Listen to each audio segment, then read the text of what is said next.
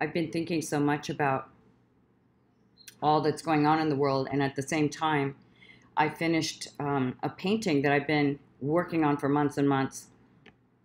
And um, some interesting thoughts have come up for me because usually when I finish a painting, it's kind of bittersweet because it's the end of a cycle, which I've already had a conversation about. But then the new cycle is an interesting thing because I bring a white board up here to have, I mean, a new a new canvas for me to start painting on right away because I like I like to continue the momentum. But something hap- something always happens when I do that, and part of it is that I look at what I did and it just feels like, oh my gosh, how did I do that? And I hope I can do it again.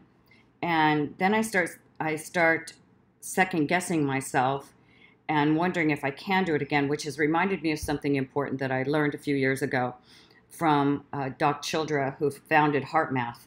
And I was lucky enough, grateful enough to, to go visit with him.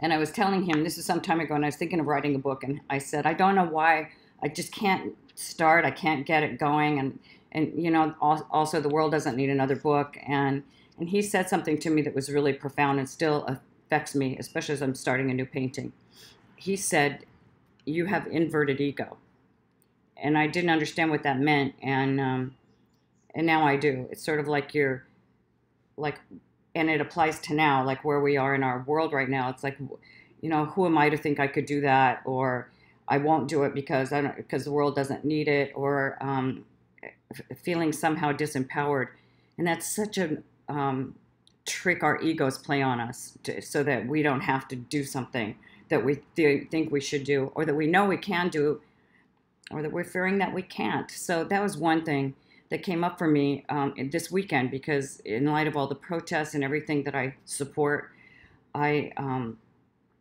I also myself have been looking at like, well, what part can I play, and how how can I how can what I do truly um, contribute? So that was one thing, and the second thing that was equally as important to me is an experience I had um, going down the Grand Canyon long ago and on a raft trip down the Grand Canyon, going through the rapids and all that. And so we were going to do like an intense version of um, rafting down the Grand Canyon. And the guy who was our guide said to us as we got down there, and it was like 115 degrees, and everybody was grouchy, and we had to repack our bags, and and um, and he wanted to give us the rules of the river. And one of the things that he that he said to us was, it's possible, maybe even likely, that you could fall out of one of the rafts at some point along the way because these rapids are intense rapids. We are going to go down Lava Falls and some other ones before that. He said, So, what I need for you to know is that you need to participate in your own rescue. Like if you, when you fall out of the boat, you need to figure out a way to get to the shore because we can't stop a boat, obviously. It's rivers going fast. You need to somehow get yourself to the shore. Don't run into any rocks. Don't hit them with your head. Climb out and walk downstream to where we can pull over and, and pick you up.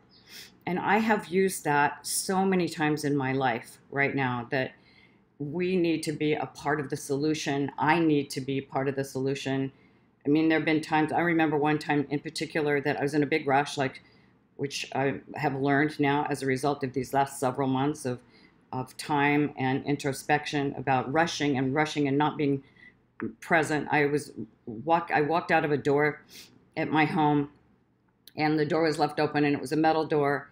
And I turned to come back in to grab something. And I walked straight into that door and I still have a, bru- a scar on my forehead and it knocked me down and I, I started to cry because it hurt and it shocked me and my head was bleeding and i mean if you're by yourself like how long can you stay that way you just have to get up and um, figure it out you know and and then i realized after that i think i wrote a blog about it in one of my uh, former blog things about well you have to participate in your own rescue you have to get up wash yourself off, you know, make your life work and not have a big story about it.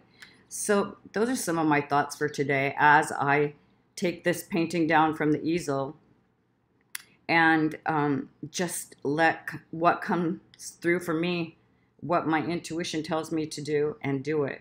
So, I hope that's useful for for you.